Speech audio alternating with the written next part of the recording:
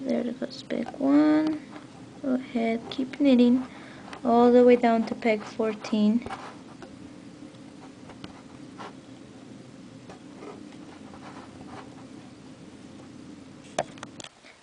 so we have reached peg 14 go ahead and knit it. And then on the next peg we are going to pick up the stitch of peg 15 just hold onto your working yarn and with your tool take the work the loop of peg 15 and hold it with your knitting tool. Now with your working yarn wrap the peg. So simply go around the peg and the working yarn will end up towards the front of the peg. Place the stitch back on the peg and you just created a wrap on that peg by wrapping the peg you have eliminated a hole so now let's go ahead and do row number 4, which tells us to purl back to purl from peg 14 all the way to peg 1. So your working yarn is wrapped around peg 15. Just leave it the peg 15 like that. It will have the loop and the wrap and go ahead and purl peg 14.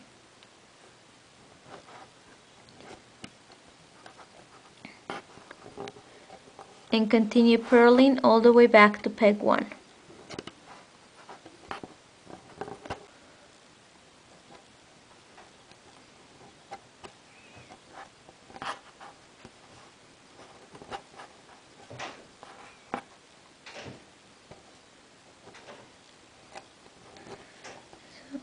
we have reached peg 1 and now row 5 tells us to change to the a color. So if you are knitting with two colors go ahead and change to the A color.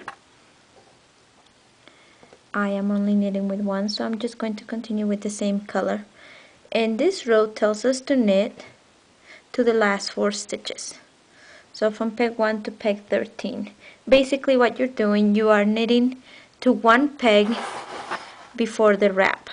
So you'll be knitting to that peg and then wrapping that one. So let's go ahead and knit to peg 13.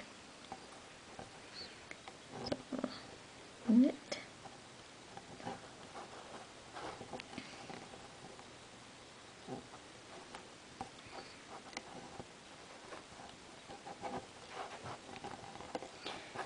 and continue knitting all the way down to peg 13 or to 4 stitches before reaching the end of the loom the number of pegs that you cast it on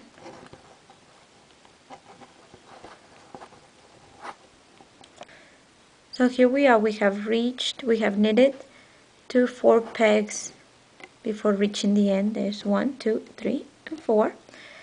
So like I said before we will knit to one peg before reaching the peg with the two wraps on it. So now bring your working yarn towards the front of the peg take the loop off the next peg. And now with the working yarn grab the peg, the empty peg, replace the loop back, and now you're ready for the next row. Row number 7. I'm sorry, row number 6. And in this row we will have to purl back. So just as a little note, as a little tip, if you're working from left to right, you will be purling. If you're working from right to left, you will be knitting. So go ahead and now purl from peg, from the next peg that you have wrapped. From peg 13 all the way back to peg 1. And you will be doing this same sort of thing, knitting to one peg before the last peg wrapped and thus creating working in short rows, meaning not working the entire row, just partial row. And then we will have a consolidation row, which all that entails is just knitting basically all the way to the end of the row, picking up every single wrap that you put on the pegs. So just keep working towards the beginning of the round, by purling so we have just purled back to peg one and now we're ready to do another knit row but first let me show you how things look on the other end. Over here we have now two pegs with a wrap and the stitch. The next one the wrap and the stitch.